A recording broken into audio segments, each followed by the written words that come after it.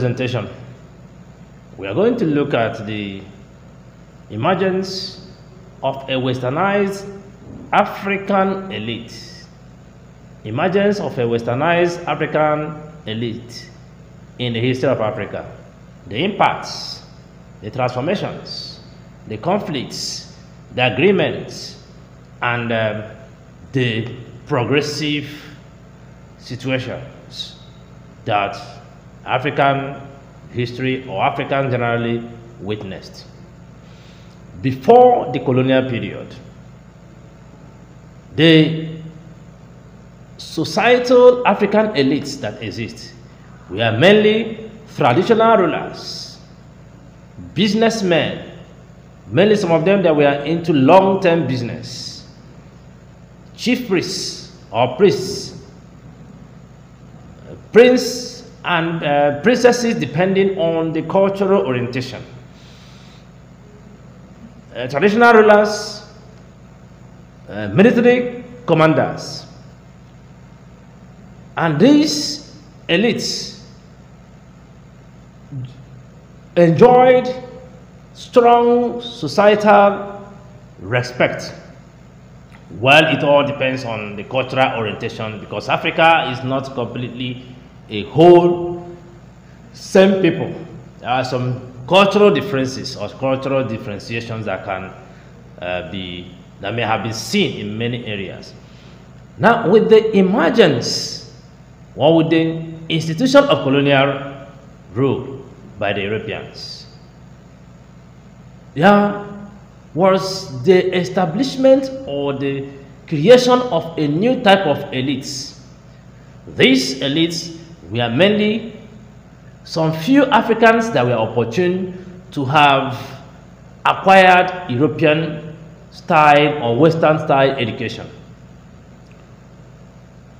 In some European or colonial structures, mainly in the French and the Portuguese colonial structures, these Africans were given some level of recognition. Some of them were allowed to be part of the civil service. Some of them were allowed to be part of lower government structures. Although it was different when you look analyze when you analyze the colonial political structure of the British. It was different.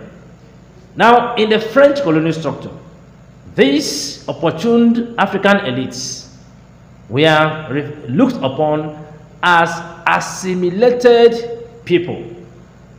Assimilated people. And they were seen and they were seen as black French. Black French. This status made some of them to feel that they were higher above other others in, in African society. Well, the Europeans, mainly the French, looked at them as leaders. This brought a conflict situation. Well, before we go into that, let us, there was, after the traditional African elites, in some of the uh, uh, African areas where Islam was introduced, there existed or there was a creation of another elite, the ulamas and the uh, Islamic leaders. These elites, based on re religious orientation, commanded some respect. And these elites we are also seen as the leaders of the people, mainly those of them that subscribe to the Islamic faith. Well, with the emergence of these new European or westernized African elites, there was a conflict in some quarters in Africa whereby the African elites, Europeanized elites, African Europeanized elites saw themselves as being higher than the ulamas or saw themselves struggling for space or struggling for recognition with the ulamas and the religious leaders, the Qadis and some other Islamic religious leaders. In a place like Algeria, these westernized African elites founded a group called Young Algeria it was a political movement force or political force called Young Algeria. And they tend to lean towards or they tend to move towards French interests because of the, the recognition and the status the French government or the French colonial government gave to them. This brought serious conflict between them and the religious leaders. But this cannot be said for the British colonial areas. The British were, were very um, economical in investing in education. They did not invest much in education. Rather, they gave the missionaries the opportunity to provide education. But the bottom line was the, the, basic um, structure or basic condition for the missionaries' provision of education was mainly to provide communication in order to make it easy for their missionary activities. The missionaries needed uh, translators, they needed middlemen interpreters, they needed catechists, they needed pastors, and they needed people that can help them to, trans to translate uh, Bible from English to local languages. That happened to be the major area. They also needed teachers, uh, basically. So that happened to be the major area of their educational uh, practice or transmission.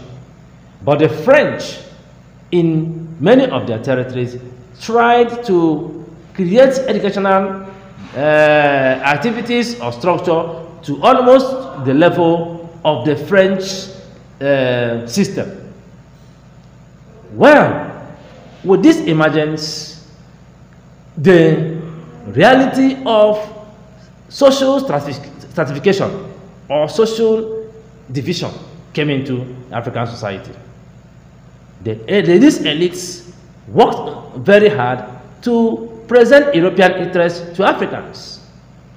In the British colonial structures, the opportune elites were given the instruction of preaching or presenting or transmitting the un unacceptable fact that the European culture, European way of life, we are better than the African way of life.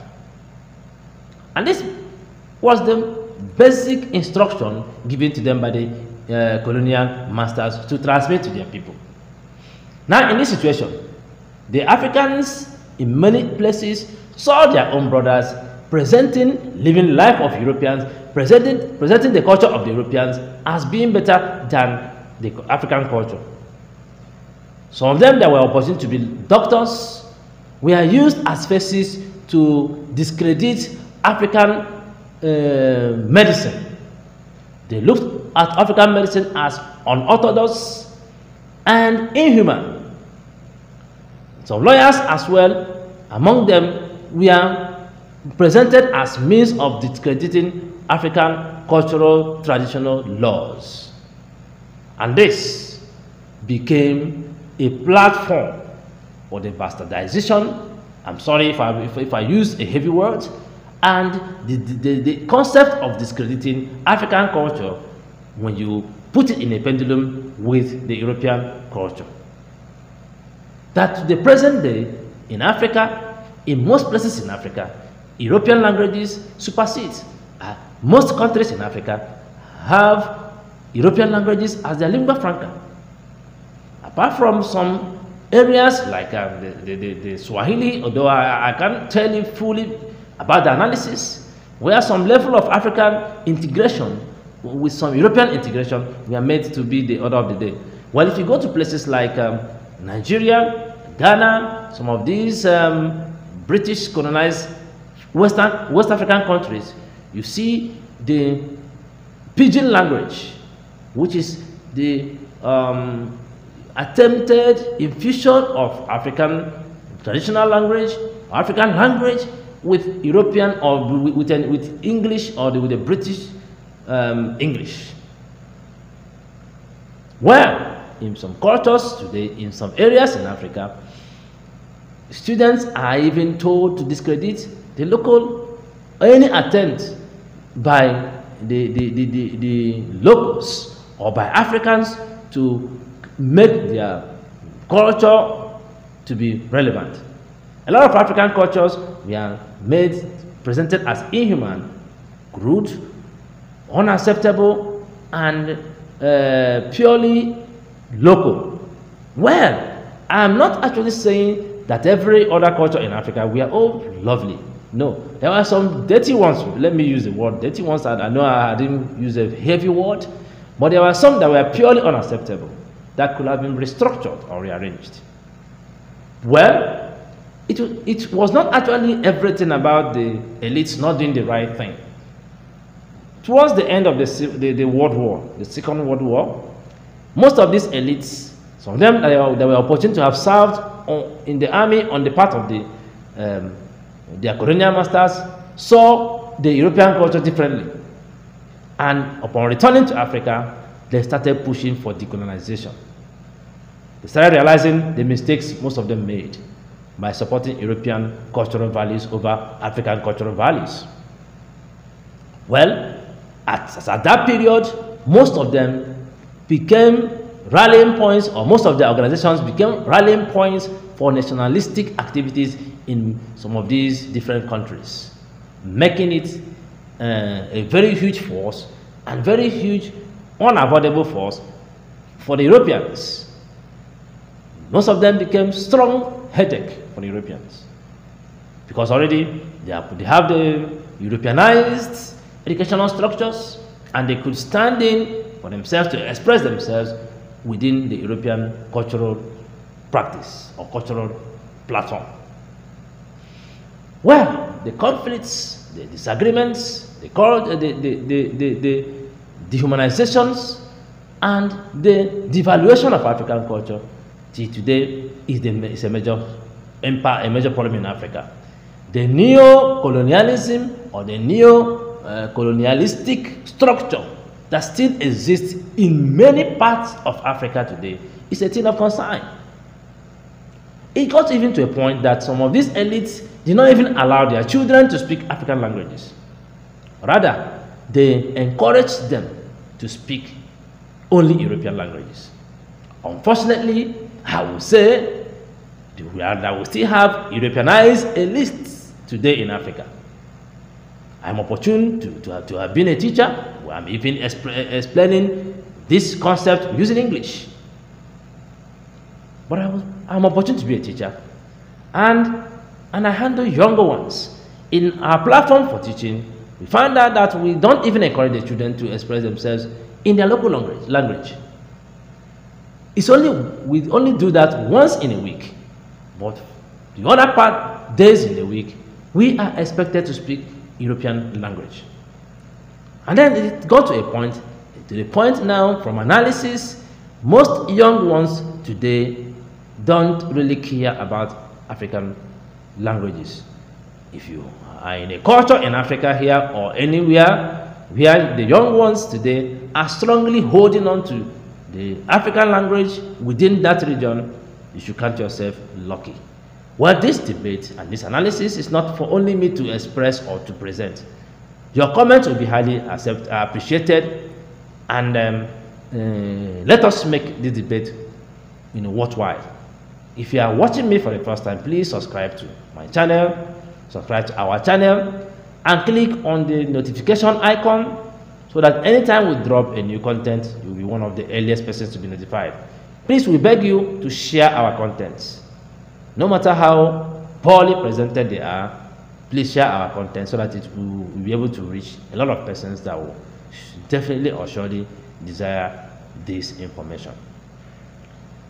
Thank you for being part of our channel. Thank you, thank you, thank you.